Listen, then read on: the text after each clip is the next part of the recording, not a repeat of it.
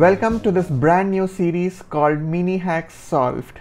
And in this episode, we are going to solve a mini hack that is build a word cloud using Lightning Web Components. But first, what are mini hacks? Mini hacks is one of the most popular hands-on areas at Dreamforce and Trailblazer DX. Once attendees come into this area, they can pick a hack based on their expertise or skill level. And this hack contains a small business problem and a set of requirements on how to solve this problem. And these requirements are not as detailed as they are on Trailhead. They just tell you what has to be done, but not how it has to be done. Let's now look at the requirements for Word Cloud with Lightning Web Components. So here, uh, the business wants to build a homepage that is visually appealing to its users. As a part of this, they want a tile that shows recently accessed records in a fun way. And your job is to build a component for this where recently accessed records are shown in a word cloud. Pretty straightforward. Now, diving into the requirements. So this challenge requires a Salesforce org, quite obvious. You can use an existing org or new one. Uh, we'll see, we'll try to create a new one. Create a Lightning Web component named recent records that can be added only to the home page uh, an admin should be able to configure the following properties from the app builder. Uh, the number of records, a value between 1 and 15, and the object name. So it looks like once this component is added to the app builder, the admin should be able to configure uh, what object records have to be shown and how many of them. So we'll have to use Apex to query for recently accessed records based on the object name, of course. Uh, the admin selects the object and the number of records. We fire an Apex query to get uh, the records based on the parameters that have been selected. Then add a lightning card with the title recently accessed object names, which means uh, it'll either have to show recently accessed accounts, contacts, or leads based on whatever object name has been selected. And finally, use this external JavaScript library. So it looks like there is one external JavaScript library uh, which will help us show the names in a word cloud. And there is a documentation apparently. So looks like it's a GitHub repo uh, with a README file and stuff with the documentation. So it's good. The size and weight of the words must be in a decreasing order of the corresponding records access date. For example, the most recently accessed record should show up as the largest word. Okay, so let's say there are 10 records that are being shown. The most recently accessed record must be the bigger word in the word cloud. And based on the record access date, the words must be in decreasing order. Okay. Upon clicking the name in the word cloud, redirect the user to the records detail page. Uh, it's a good requirement. So why are you showing things in a word cloud if they are not clickable. Okay, so uh, the requirements um, look straightforward. Um, again, uh, there might be multiple solutions uh, to these requirements. I will be showing one of those many.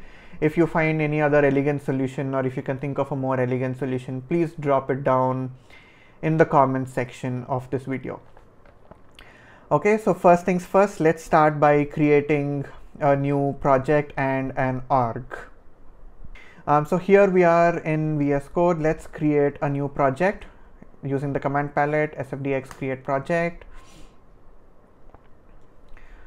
Uh, let's choose a standard project and give it the name mini hacks solved and then choose a location where this project must be created. Let me choose code, which is where I create all my projects. And the project is created.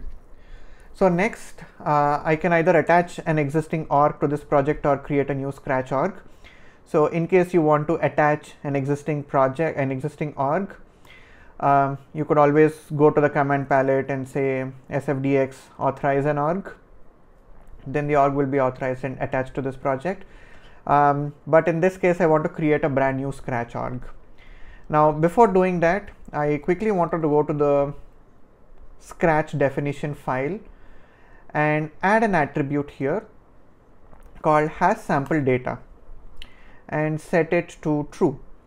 Now the reason I'm doing this is when an org is created, um, if this attribute is enabled, the org will automatically have sample data that you typically find in all of your developer orgs. This saves me the time of creating all the test data. So the definition file is now good. So let me again go to the command palette and create a new default scratch org. Give it an alias, mhsolved and seven days is good enough and let me create an org. And done. So now we can get started by creating our web component. Um, as per the requirement, we are supposed to create it with the name recent records. So let me copy that. And I go to the command palette, select create new lightning web component, give the name choose the folder and our component is created. Now this component must be added only to the home page. So I need to add the relevant targets.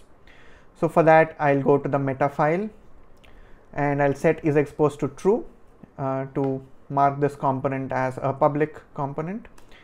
And then for targets, I don't remember the syntax. So let me just uh, Google for it so LWC targets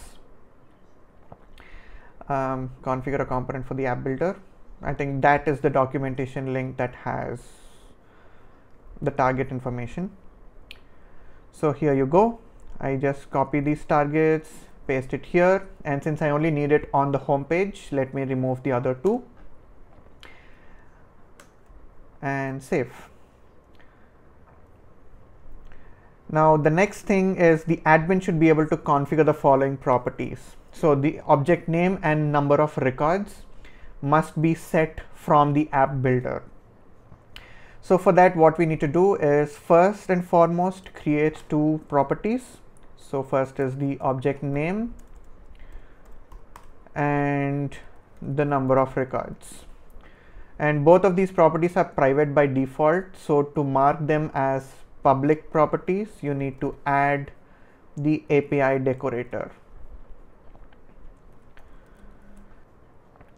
Now the next step is to expose these public properties to the app builder. Now in order to do that, you need to modify the meta file and specify the target configurations. So the syntax for that is again available on the developer website in the documentation. So here I'll copy paste all of this target configurations so that I can modify it. So we'll need to update the target configuration for the lightning homepage. So let me modify this a little bit. So let me take the homepage tag from here and say this target configuration applies to the home page. So let me remove this and all of this is not needed. So what I'm specifying here is for the target of home page, uh, this is a property that has been exposed to the app builder. Now the name of the property in the XML file must match the name of the public property in the JavaScript file. So let me make that change. And since we have two properties that we need to expose, let me create those two properties. Now the name is done. Now when it comes to the type, here right now both of them are defined as type string, but according to our requirements, the number of records must be a value between 1 and 15, which is an integer, and the object name must be a drop down with the values account, contact, and lead. So now how do I do that? So for that, the answer is again present in the documentation uh, you can click on this link over here XML configuration file elements that is going to give you the complete list of all the attributes that you can pass to the property tag. So if you scroll a little bit to the bottom, um, you can see for the target configuration, there is event and then there is property. So for property, um, you can see there is a data source attribute which is going to render the field as a pick list with static values. So if you look at the syntax here, it says property name, the type is string, but then there is an additional data source attribute with comma separated values. which then get rendered as a pick list. And you can optionally specify a default value as well. So let me copy that. And for the object name, I add these attributes. So for data source, I need account, comma contact, comma lead.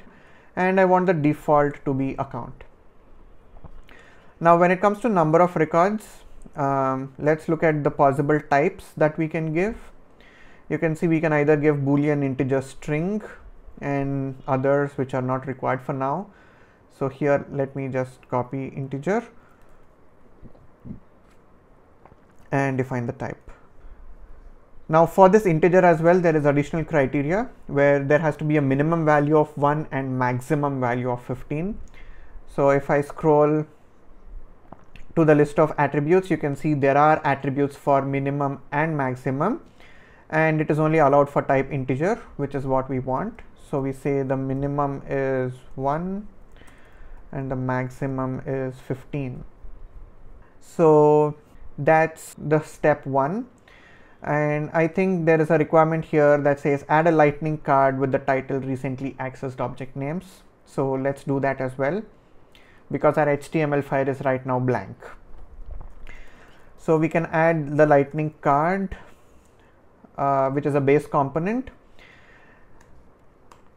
And if I hover over this, you can see all the attributes that lightning card allows. So in that there is a title attribute, which is what we are going to add. And this title must be dynamic based on the object type that is chosen. So the way I can do that is within my JavaScript file, I can define a get variable. So um, get card label is what I will define the property name as. And then this is going to return a dynamic string, which is recently accessed object name and s so this is another syntax for string concatenation. You can put the backtick operator and then use the dollar sign and curly braces to specify the dynamic properties name so that it's going to look more clean. So I'll use this getter property over here. and that's pretty much the first step where I've created a basic component I've created a lightning card and the label is dynamic based on the object name let me now push this code to the org so for that I can use the command sfdx force source push because it's a scratch org if it was a non-scratch org you would right click and say deploy component to org so the component is successfully deployed. Now let's go ahead and see how this works. Uh, to open the org, I can directly click on the window icon inside VS Code instead of having to type the command sfdx force org open. So let me just click this and the org is going to open up in some time. So once the org is open, um, let's go to the home page so I can open up any app. And let me go to the app builder by clicking edit page. Now in the list of components, if I scroll down, I can see the recent records component uh, is available to me now as a part of the custom section. I can just drag and drop it over here. And you can see it shows recently accessed accounts and the properties on the right hand side. Account has been selected as default. If I change it to contact, you can see the label is automatically updated to recently accessed contacts. Let's keep it account for now. And for number of records, let me try to pass in 20. And you can see it says enter a number from 1 to 15. So our validation is also working correctly. So let me give the value of 10 for now and click on save because this is the first time I'm making changes to the home page I need to activate it and let me assign it as the org default now when I go back I can see everything is working as expected for now there is no word cloud which we are yet to add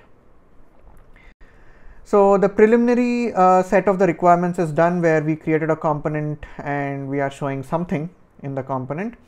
Now the next set is to actually query for the recently accessed records and then show it in a word cloud.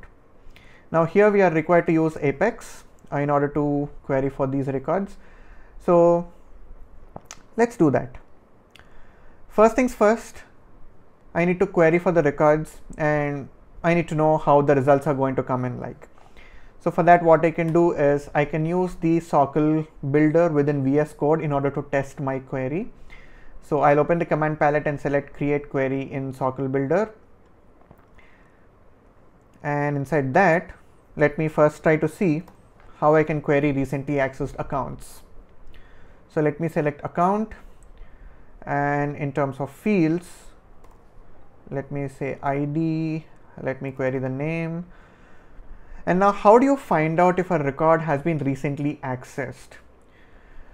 So along with the standard audit fields that you already might be knowing about like created date, last modified date, there is also an audit field called last viewed date, which is going to store the date when the record was last viewed. And a record is viewed whenever it is accessed. So let's use that date and run the query.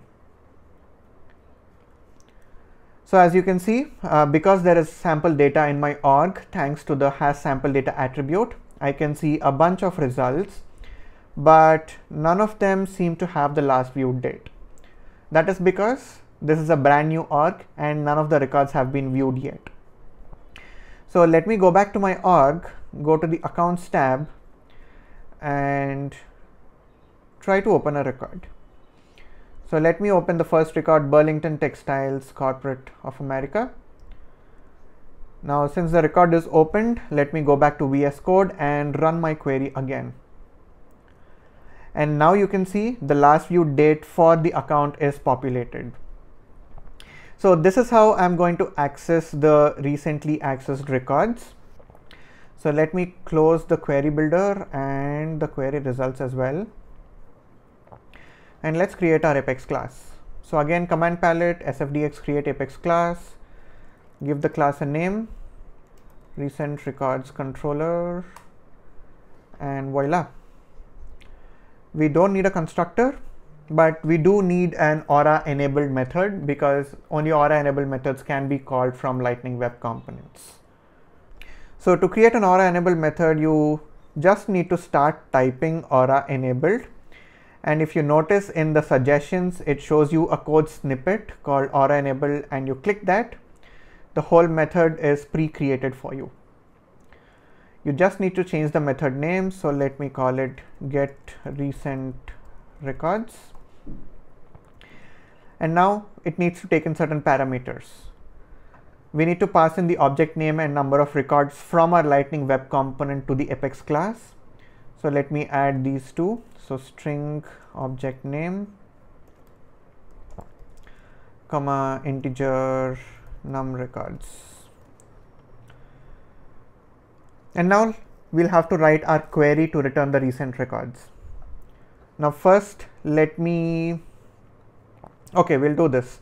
Since the query is supposed to be dynamic let's store it in a string so let me call string query string and paste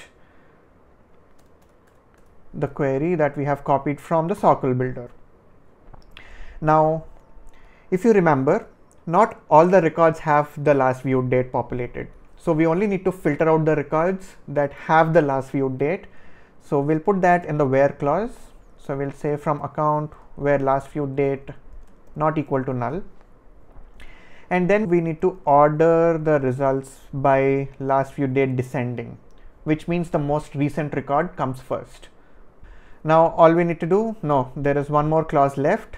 We need to limit uh, the number of records based on the parameter. So I've written my query. Now it's time to make this query dynamic. Um, so let me replace account with the object name parameter and limit with the number of records. So here my dynamic SOQL query is ready and I use the database.query method to fire this dynamic SOQL query and I'll put a return statement to return the results. Now since the results returned by this query is going to vary based on the object type that has been sent, I'm going to make sure the return type accommodates this by using the return type of sObject. Since sObject is the parent of account contact or the standard custom objects, using the sObject as a generic return type can accommodate any other object types that you might pass in the future. So now uh, my Apex class is all ready. So let me push this to the org as well. And hopefully there shouldn't be any errors. And yep, uh, things have been deployed. Now our Apex class is ready. So we have the data we need, we have the component we need. So all we need to do is now show the data in a word cloud format. So for that, uh, there is this external JavaScript library. And over here, there are some usage instructions. Um, so in simple usage, what it looks like is you'll have to download the latest JavaScript file from the SRC folder of this repo. And then you'll have to load this file on the web page and call a particular method. And this method seems to be taking in the ID of the element on which the word cloud has to be rendered and a list.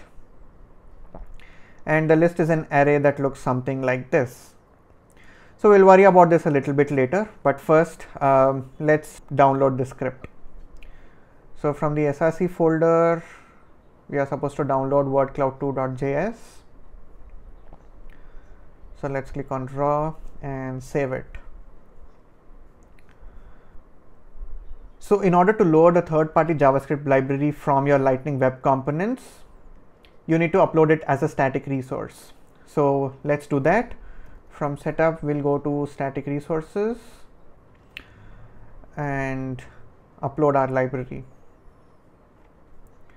So we'll give it a name, choose the file and save. Now there is a syntax to load these scripts into our Lightning Web Components. Again, I don't remember those. So let me Google for that. Load third-party JavaScript in LWC. Again, you'll come across the documentation, which is the most valuable resource that all of us LWC developers have. So it says download the library from third-party site, which we have done. Upload the library as a static resource, which we have done as well now we need to import this library so let's go to javascript copy the name which is wordcloud.js and then the next step is going to be importing uh, these two methods from the platform resource loader.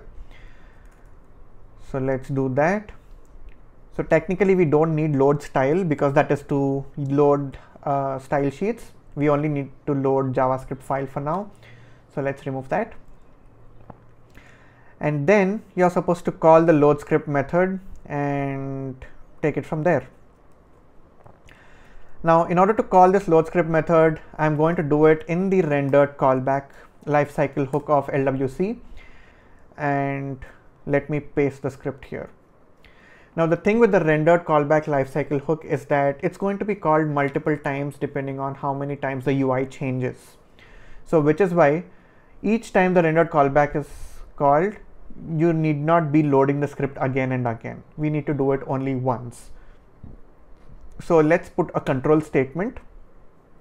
So we call it, we create a property called rendered and set it to false initially and then if we create an if statement here that says if this dot rendered then return which means the execution stops right there if not it proceeds over here here we set the this dot rendered property to true so that the first time the rendered lifecycle hook is called the rendered property is false. So it goes into this. It sets the rendered property to true. Then it loads the script. And once rendered callback is called again in the future, because this property is already set to true, none of these statements are executed again. Now inside load script, you specify this and you need to put in your library over here. So here let me replace my library with wordcloud.js.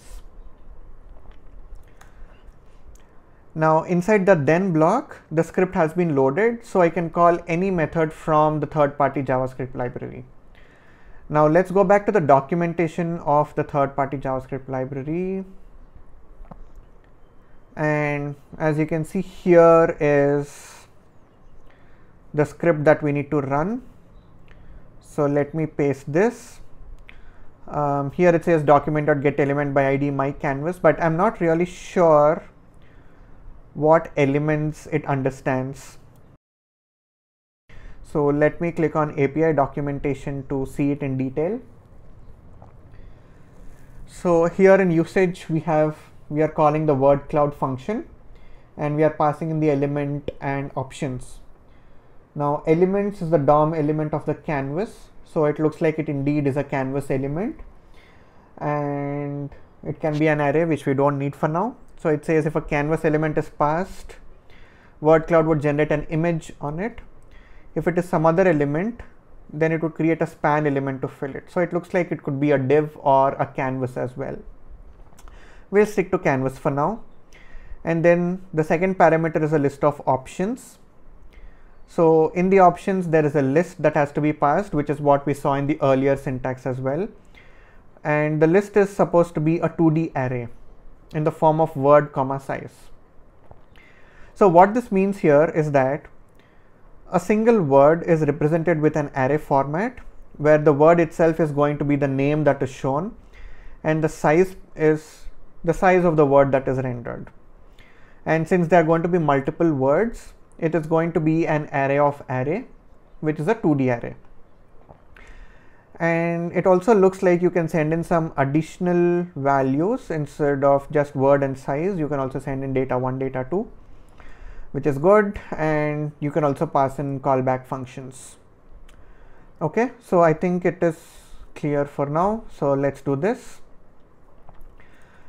uh, okay we've already pasted it uh, first and foremost we need a canvas element so let's go to html create a canvas element and to refer to this canvas element from JavaScript, it's easier if it has a class attribute. Um, IDs again are not recommended within LWC because IDs are globally replaced whenever LWC renders. So we'll give it a class name. Uh, apart from the class, you also need to add an additional directive called LWC DOM and set it to manual because this allows the DOM to be manipulated using JavaScript and third-party libraries typically modify the DOM using JavaScript. So we are done with that. So now document.get element is of course not supported in LWC. So we'll replace that with this dot template dot query selector and specify the class name of our canvas element. And here we are passing a list.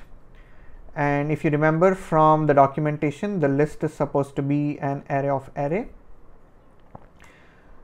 So we'll create this list and save.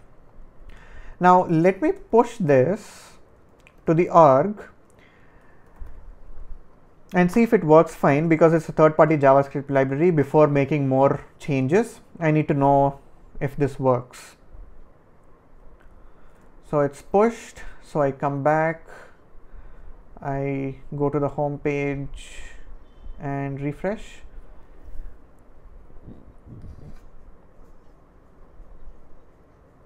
Okay um, it looks like something is rendered so if I zoom in I can see foo and bar are being rendered uh, because that's the data I've passed um, but they are extremely small we'll have to do something about the size so definitely 12 and 6 uh, might not work for us. We need to go a little bit more higher.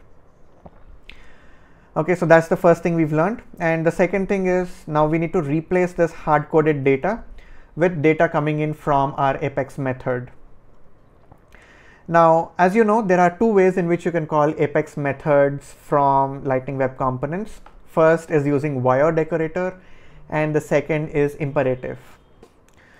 So in this use case, um, my preference would be to call Apex imperatively, primarily because if you look at line number 22, it needs two things to execute perfectly. First thing, the script must be loaded successfully. The second thing, the data must be loaded successfully by the time this method is executed.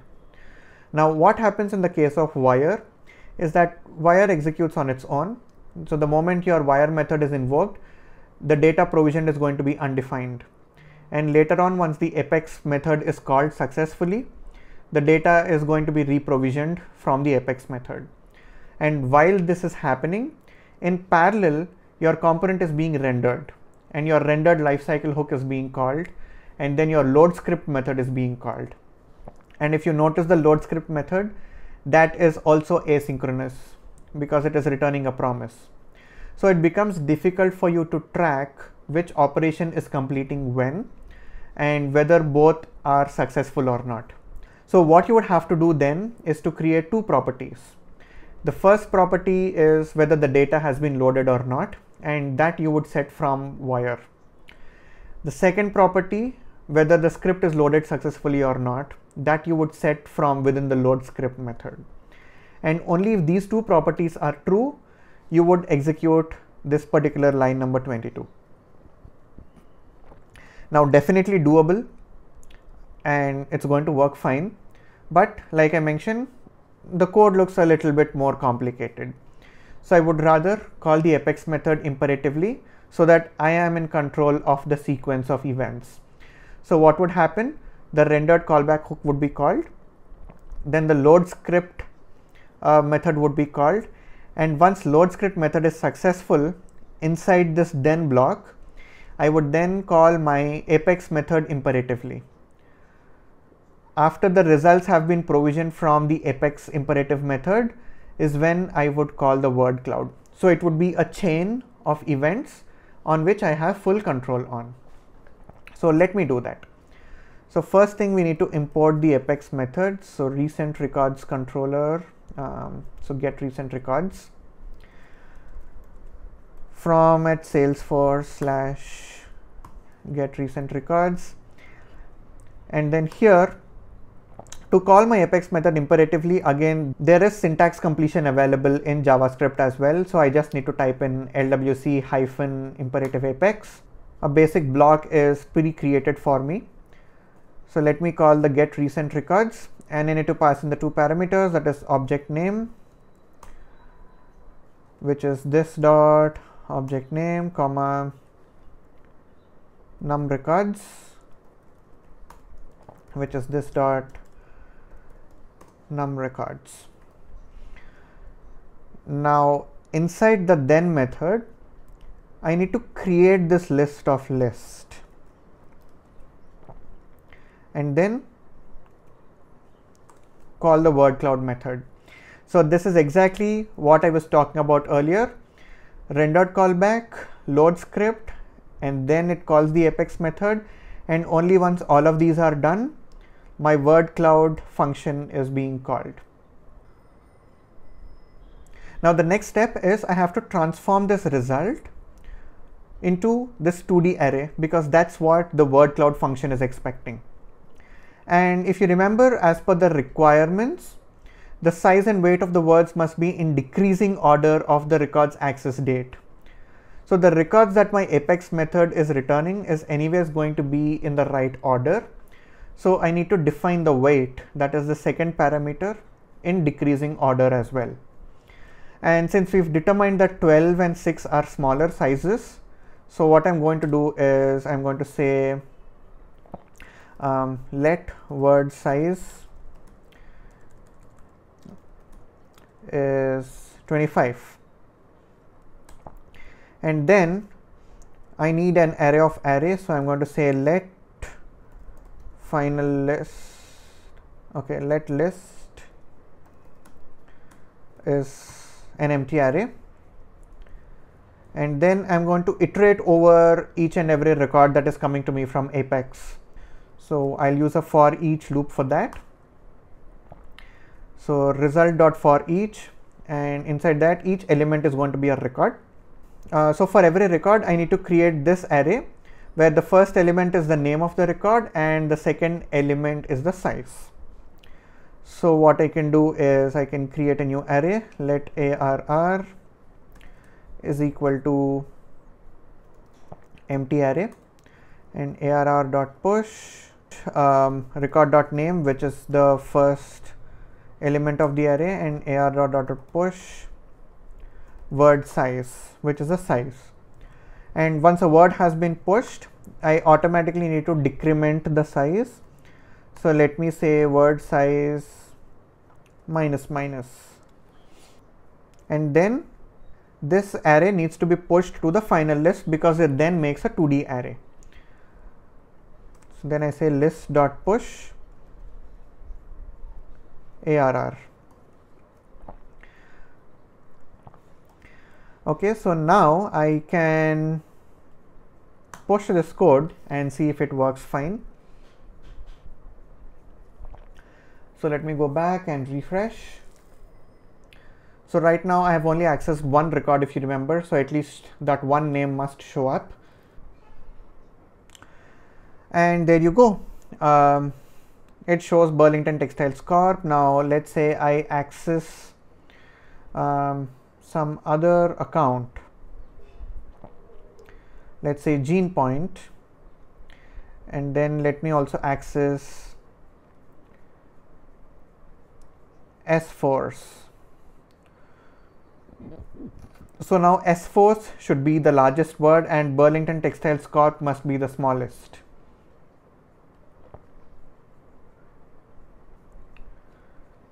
And that's what it looks like, um, but it's not very clear, uh, primarily because we are reducing the size only by one perhaps.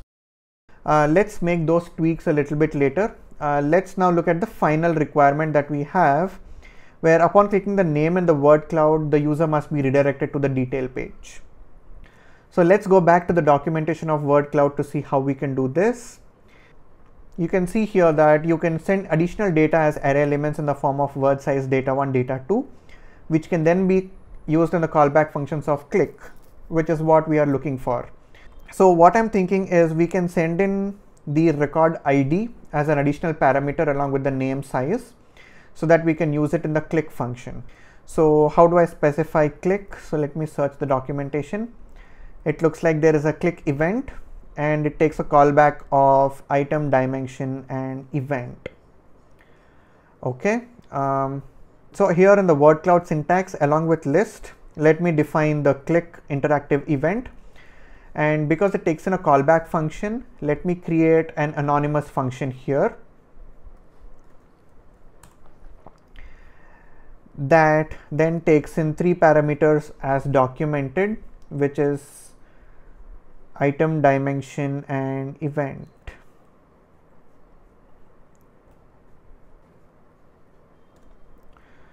So I don't know how this behaves so let me just put a console log. Um, so let me put clicked and let me log the item parameters so let me do json dot stringify item and push the code. Okay so let me refresh the page and open the browser console in the meanwhile. Okay now once I click on sForce it's saying clicked and it's returning me the actual element itself that I'm passing which is sForce comma 25 okay perfect. Um, so what we need to do here is then do array dot push uh, record dot id and here let me replace this with constant. Record id is item of 2 because the record ID is the third element uh, in the array. I'm getting it from the index 2. Now all I need to do is call the navigate method from LWC. So again, I don't know the syntax. LWC navigation.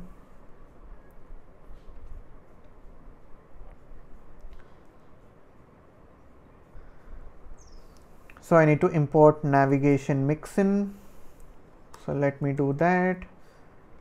And then I need to modify the base class. Done and then this is the syntax to navigate to the record detail page but then you could also do that using syntax completion so I just need to type in lwc hyphen nav record page so I just change the pre-created syntax I need to go to the detail page so view record ID is this and the object API name is going to come in from the object name property that's already there in my class. And it looks like I don't need these two parameters also. Okay, so let me push the code and let me now refresh. So let me click on sForce and there you go, the navigation is successful. So looks like uh, pretty much we've completed all of the requirements. Like I mentioned at the beginning, this is not the only solution to this hack. There are many other solutions and each and every person's code is different, thought process is different. So if you have better ways of doing this, please do let me know in the comment section. If you found this video helpful, hit the like button and don't forget to hit the subscribe button to get notified whenever a new episode of our brand new series Mini Hack Solved comes out.